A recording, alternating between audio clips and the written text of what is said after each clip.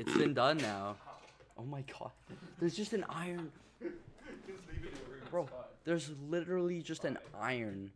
Oh my god. Renegade. Yeah, that's where Harv sleeps. He just sets that up. Nice. He's on the Bruh. Bruh.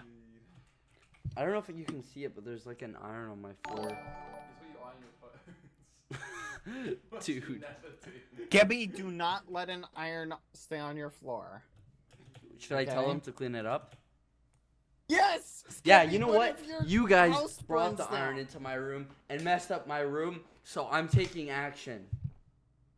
Ooh, so scary. Oh my goodness. So clean it, or I You're will making it pelt worse. marshmallows. making it The mess- worse. The mess is literally- the mess is literally the boy.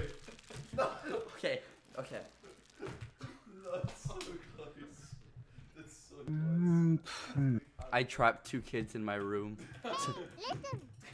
Thank What is- you.